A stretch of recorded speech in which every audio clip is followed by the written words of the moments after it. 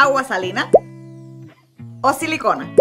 Hoy en My Cosmetic Surgery vamos a averiguar qué tipo de implante escoger para tu aumento de senos.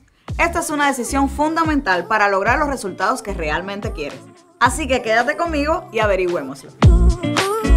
Por un lado tenemos el de silicona, elásticos y moldeables. Y por otra parte tenemos el de agua salina, firmes y resistentes. Silicona está hecho de un gel cohesivo grueso que disminuye los riesgos de ruptura. El implante de silicona tiene un aspecto más natural. Aquí pueden ver la caída, muy similar al que tenemos nosotras las mujeres. Este tipo de implante se puede colocar en pacientes de 22 años o más. Según nuestras pacientes, los implantes de solución salina tienen una forma más redonda y se sienten más firmes. Este tipo de implante se puede colocar a partir de los 18 años. A la hora de la cirugía, el cirujano introduce esta bolsita de silicón vacía y una vez en la cavidad mamaria se rellena con la solución salina. Esta técnica tiene como ventaja que la incisión es mucho más pequeña. En cambio, el implante de silicona está previamente relleno con el gel cohesivo. El cirujano lo introduce con el volumen ya escogido. Con esta técnica, la incisión suele ser un poco mayor, pero no te preocupes, que una vez que cicatrice, apenas se nota. Ambos implantes están certificados para el uso del aumento de senos con la mayor seguridad. La elección entre uno y otro